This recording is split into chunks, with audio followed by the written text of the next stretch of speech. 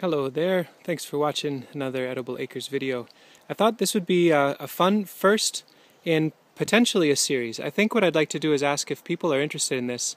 Um, write in the comments and let me know if I should do more of these. I want to do um, a bunch of videos around specific polycultures that have been designed here at Edible Acres over the years and you know things that worked, things that don't work, and maybe just highlight some of these different guilds uh, some are intuitive and some are researched and some just kind of evolved over time. And just share food for thought. So no real prescription of, oh, you have to do this, but certain patterns and observations that seem to work really well. And so what I'm panning around on here is, a, I think, a really nice polyculture that's been performing beautifully for us over the years. And it's, a, it's an apple guild that has a fair amount of complexity in the herbaceous understory, but also some interesting, fun, I think, and potentially resilient additions that um, we'll start with the apple as the keystone. And let me come to these guys in a moment. You might already know who these are, and you might be wondering already, what the heck are they doing so close? But I want to talk about that. So this is a grafted apple a friend gave me a couple years ago, and right smack in the middle of the yard, we popped it in with all the grass around, now this is a pretty major deer avenue. You can believe me or not, but there's a huge amount of deer that move through this property. Lots of browse pressure. So this had to be protected. And the way it was done in this case is the apple was co-planted with a bunch of garlic around it way back early on. Now this was about six years ago. The garlic has since faded into the background. It's barely there. You can just see a tiny legacy.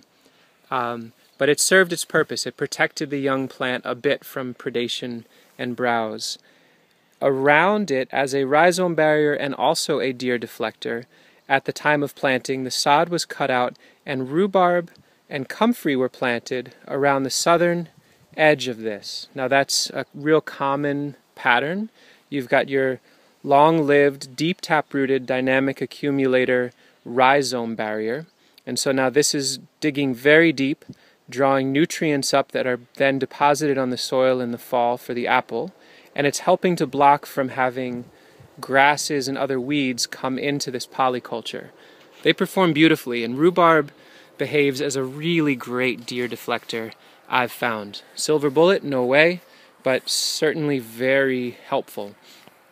In between the rhubarbs, a couple red currant cuttings were stuck, figure why not catch a crop out of this system while we wait for the apple to evolve. They don't get too much deer browse or rabbit pressure. They're relatively easy. And you can see they're making a crop. So this was all plugged in again about five, six years ago. And the apple's looking beautiful. It's growing along. It could use a little more light, but so could almost everything in this project. I don't think anywhere here it would be described as full light by most farmers. Um, but that's what it is. It's hedgerow. Now let's get to the other interesting layer, which is to the north of this apple. So that is to this side of the apple. You may be wondering, what are these weedy looking things? Or you might know your plants and say, well heck, that looks like an American persimmon and a pawpaw seedling. So then the question is definitely begged, what the hell are they doing within two feet, three feet of the base of the trunk of this apple? Don't we care about the apple as our keystone? Well, we do, but hedging your bets is not a bad idea. Nature seems to do an exquisite job of continually hedging bets insofar as packing itself to the brim. Now this we happen to plant a lot of the things that are in there, but nature just keeps packing it in. So why would I break so fully from that model as to say that only an apple should be here? And so the reason these are here is that I don't know what will happen with this apple. Is it going to get girdled? Is it going to get browsed? It's a pretty big target. It's a real standard target for a lot of the herbivores around here to get onto. Pawpaw and persimmon both seem to be pretty darn deer resilient.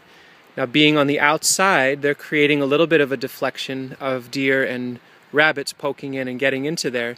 But they're also letting me have the option that if the apple fails, I've got trees in the wings that can climb up and enter into the canopy that the apple would have occupied. Now let's say the apple thrives, awesome.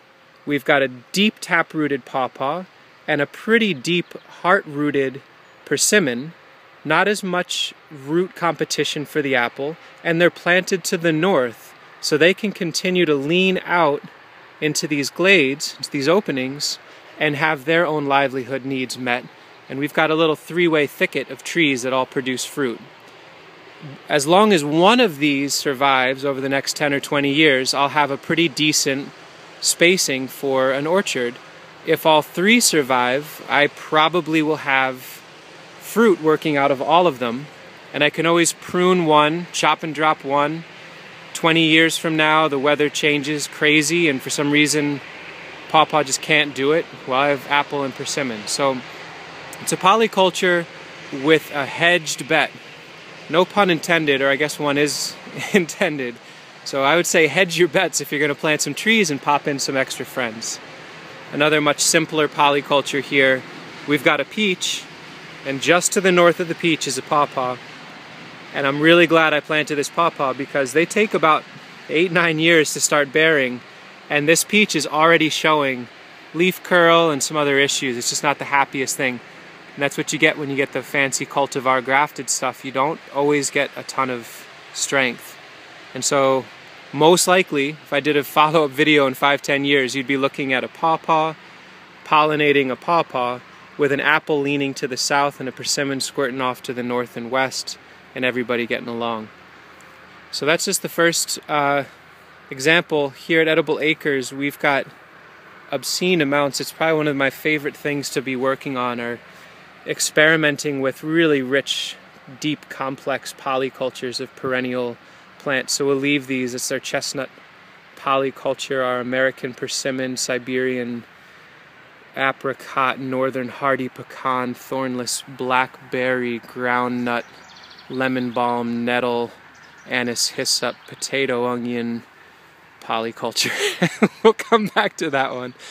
But you get the idea. It's a lot of fun, and if there's interest, I'd love to share more. So let us know if you want to see more of these. Thanks so much for watching.